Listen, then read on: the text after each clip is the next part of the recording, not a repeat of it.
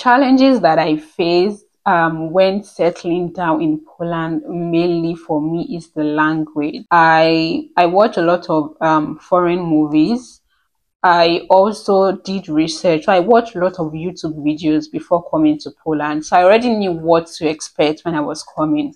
So it was not all new to me when I came into Poland, but the language till tomorrow, the language will be something that will be new to me because I cannot know how to speak the language like the people that own the language. I'm going to try my best to learn some words, but for me, it's still not going to be like um, a language that you've learned right from where you were young.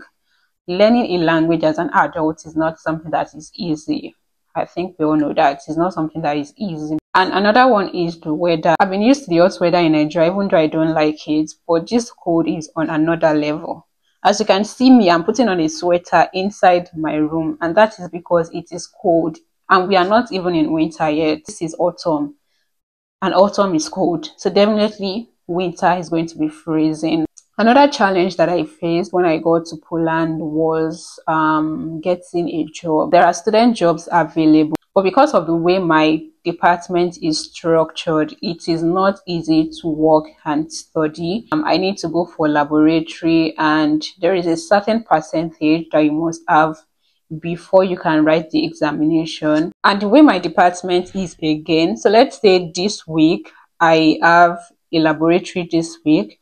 I'm going to have a test on the laboratory the following week. So if I should miss this week laboratory class, and I'm able to attend next week laboratory class and I wrote the test, even if I have a hundred percent on the test, the test is not going to count. So for that mark to count, I need to attend the laboratory and also write the test. So that is one of the challenge that I faced. I remember that when I got to Poland, the very first week that I entered Poland, I already got a job. But when I saw my schedule, I could not take the job because I needed to work for eight hours every day. And I also have my classes to attend to. So to me, it doesn't make sense. So I decided I was not going to pick up the job and instead I decided to face my study.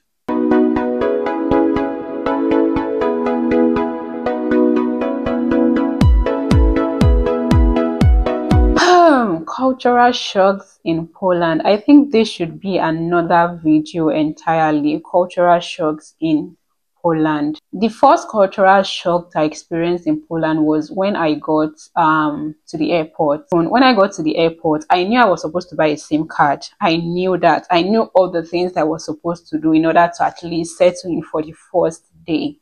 But when I got to the airport, I got where I was going to buy SIM card. I already downloaded Google um, Translate on my phone. I had Google Map on my phone because all these apps were something that I never used while I was in Nigeria.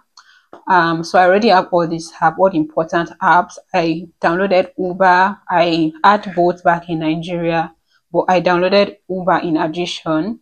So when I got to the airport, I got to where I was supposed to buy the SIM card. I made use of my Google Translate. There was Wi-Fi at the airport.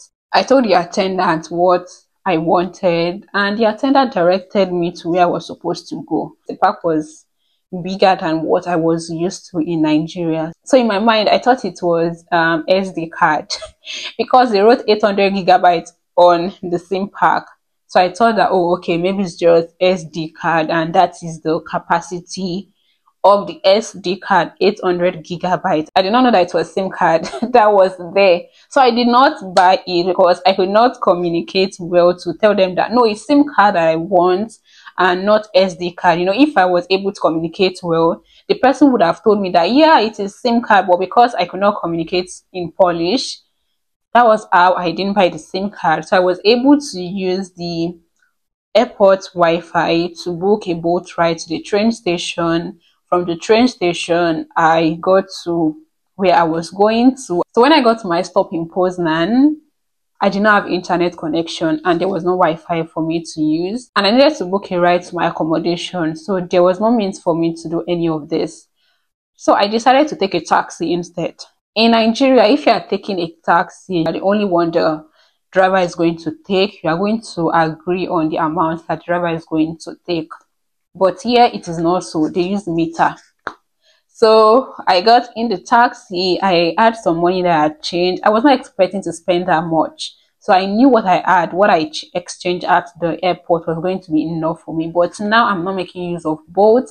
I'm not making use of Uber. So I took a taxi. And when I got to where I was going, so the driver just showed me what I was supposed to pay on the meter. The money I had with me was not enough, but thank God. I am very sure the driver already knew that this one is JJC. So he just allowed me to pay the amount I had with me. And that was it. I was grateful to God because I don't like embarrassments. So if you are coming to Poland or any country, it is preferable that you make use of Bolt or Uber ride when you get there instead of booking a taxi. And about other cultural shocks, I watched a lot of videos on YouTube. So I was prepared, the food and everything. I was open minded that anything I'm able to get at the grocery store, I'm going to make use of it. I'm going to bring out something from whatever it is that I have. So if you're eating mac and cheese, and I don't know how to eat mac and cheese, I'm going to convert the macaroni to what I know that I can eat. If it's for me to make a stir fry with it,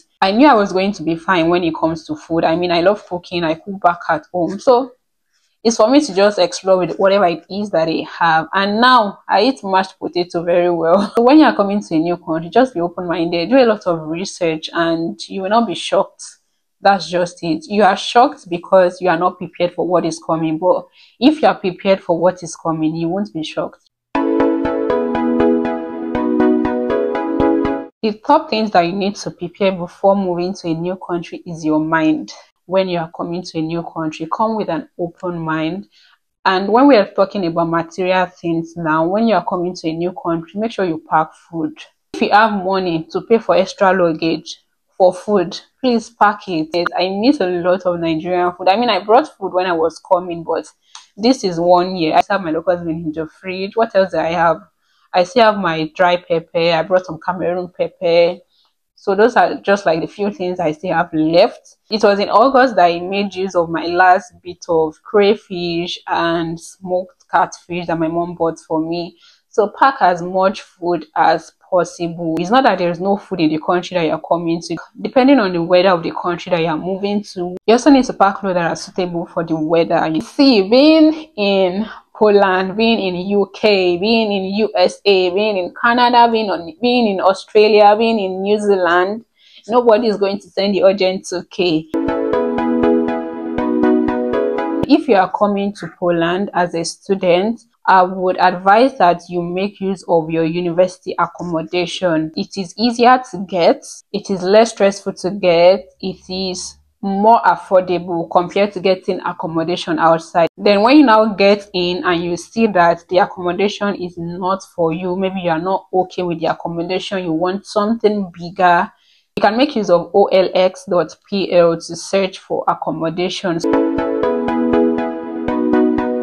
One of the financial tips I'm going to give is that look out for yourself first. You don't have to be selfish, you don't have to be stingy, but look out for yourself first. The important things that you need to have covered first is your accommodation, your feeding, and your clothing.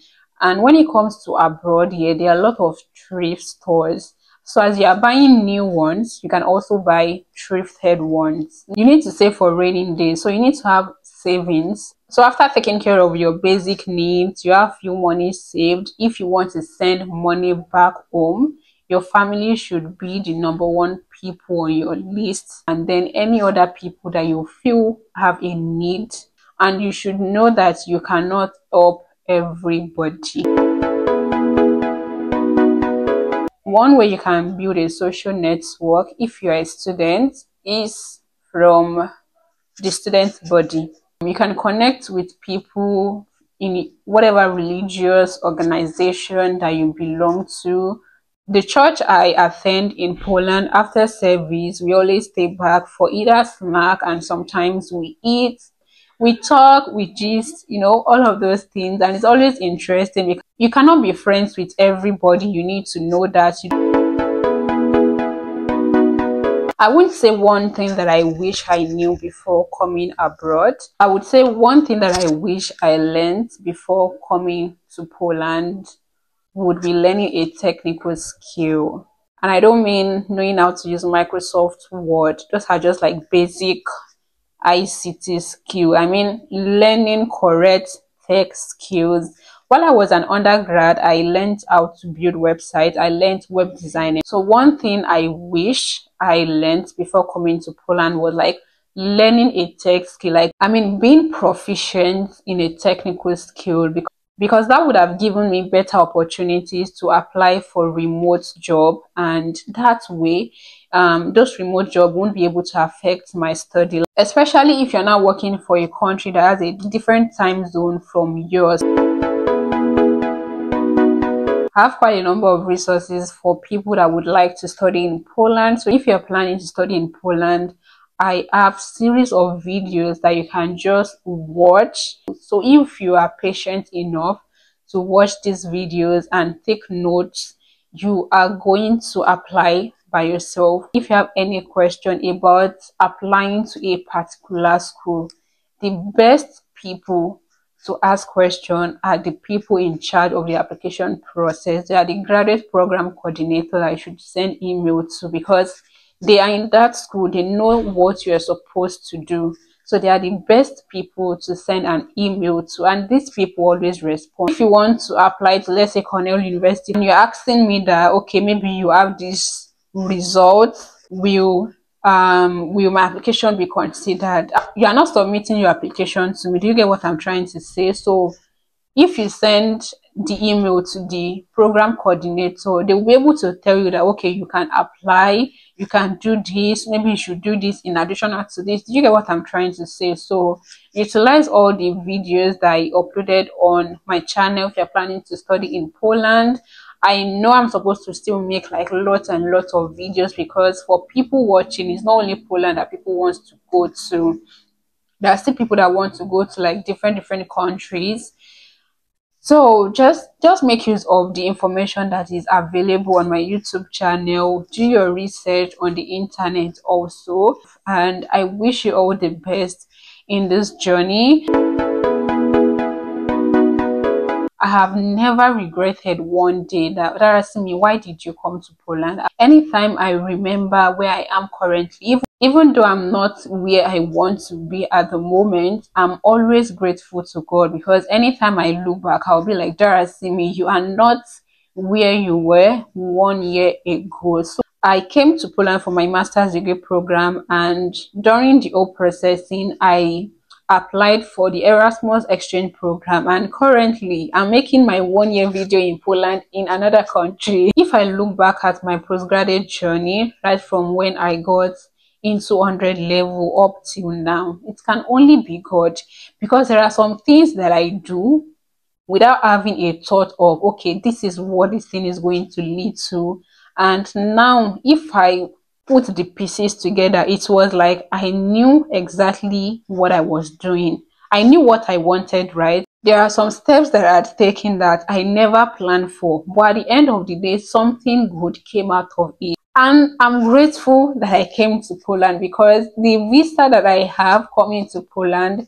give me the access to travel to over 20 countries and I've only been to one. I like traveling. I hope that you guys picked up one or two things that would be useful for you in your transition journey. Thank you for staying with me. Um, do not forget to like, do not forget to share, do not forget to subscribe. Ensure that you like the videos that more people can also see my videos and also benefit from it. Thank you guys. Thank you, thank you, thank you so much. And I will see you in my next video. Bye.